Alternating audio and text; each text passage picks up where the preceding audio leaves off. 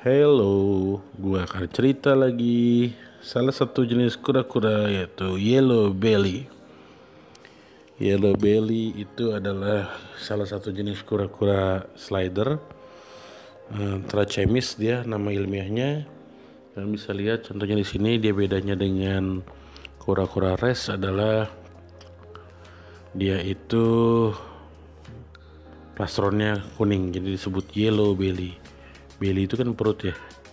Jadi yellow belly. Yellow belly ini sebenarnya adalah nama yang banyak banget dikasih ke binatang-binatang ya. Ada uh, apa namanya ikan apa namanya piranha juga kayaknya ada ya. Red belly yellow belly gitu ya.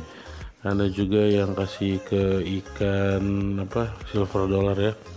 Tapi karena kuningnya di perut nah kalian ingat ya cerita ini. Kura-kura ninja atau ninja turtle ya. Ninja turtle ini mengambil uh, apa namanya sosok dari bodinya kura-kura yellow belly.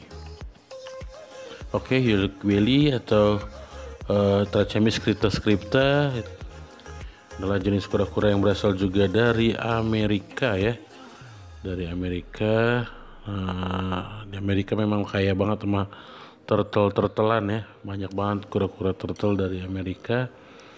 Sebenarnya di Indonesia juga banyak cuma karena Indonesia apa namanya belakangan jadi banyak mengimpor jadi kura-kura dari Amerika ini jadi pada banyak penggemarnya. Cuman sebagaimana halnya slider yang lebih kecil daripada kura-kura apa namanya hmm, kuter nah dia lebih enak karena kuter itu kan gede-gede jadi katanya si kuter itu cocoknya di dipeliharanya di kolam gitu ya. Kalau yang buat di akuarium itu ya bagusnya ya kura-kura slider ya.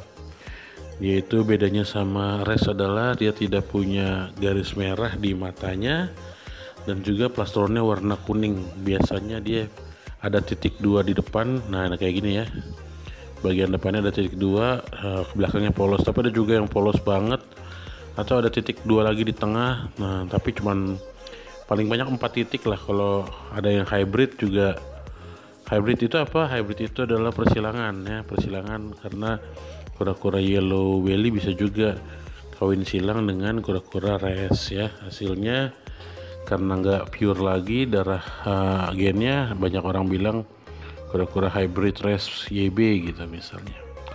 Untuk harga dia agak mahal ya di babynya itu. Kalau kura-kura res dihargain seharga 15 sampai 35 ribu.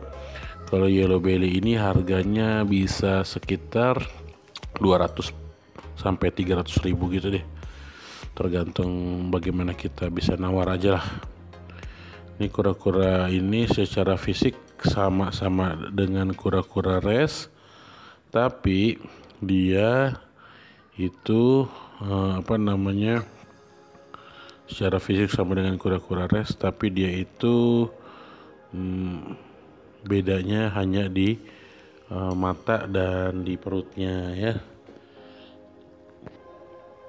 Tapi karena dia memang datang ke Indonesia banyak yang impor walaupun ada juga yang udah mulai bisa ngebreedingnya dia nggak masuk ke dalam kura-kura invasif di Indonesia seperti modelnya res ya. Yang udah kebanyakan res itu udah banyak banget deh di mana-mana. Karena cepat berkembang biaknya. Ya kalau kura-kura ini uh, yellow belly uh, dia omnivora bisa makan cacing makan daging-daging kecil ikan-ikan terus juga pelet. Dia juga mau juga dikasih uh, apa namanya pisang dan sebagainya ya buah-buahan sayur kangkung dan sebagainya. Tapi yang pasti dia sebagaimana kura-kura slider lain bisa makan hanya di dalam air. Kalau dibawa keluar air ya susah makannya dia susah nelen ya. Itu ciri-ciri kura-kura res. Oke kura-kura slider maksud gua. Termaksud ya yellow belly ini kura-kura slider. Oke ya kalian sudah tahu bedanya yellow belly. Nanti bisa bagi-bagi cerita lagi di kemudian hari.